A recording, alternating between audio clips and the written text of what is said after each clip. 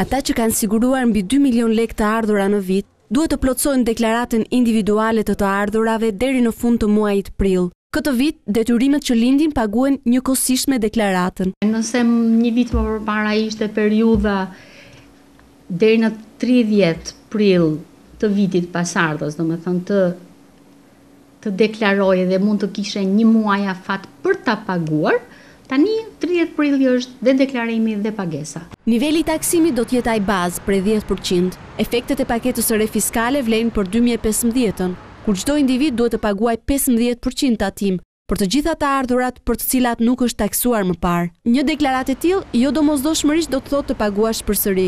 Personi që ka siguruar mbi dy milionë lekë vetëm nga puna, nuk taksohet pasi tatimi është mbajtur më parë. Detyrime nga deklarimi lindin nëse keni të ardhura nga qiraja apo burime të tjera, për të cilat nuk keni paguar taksa gjatë vitit. Ndërsa ka dhe raste kur duhet të rimbursoheni nga tatimet. Ky është viti i dytë i deklarimit individual të të ardhurave vjetore në Shqipëri. E ndoshta kjo është arsyeja e vetëdeklarimeve ende të ulëta. Atyre nga njëqind për qind që duhet deklaronin nuk kanë deklaruar as tridhjetë, dyzet për qind e atyre që duhet deklaronin.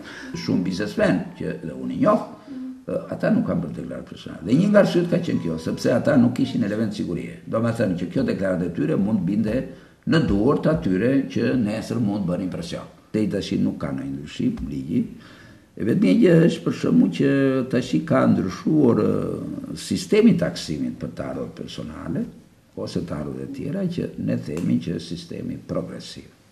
Nga deklarimet e vjetshme rezulton të mos ketë pasur sanksione, por tatimorët kujtojnë se këtë vit nuk do të falin në kontrolle. Nëse nuk e plotësoni në kohë, përballeni me masa administrative, ndërsa kryeni vepër penale nëse jepni informacion të gabuar apo të rremë.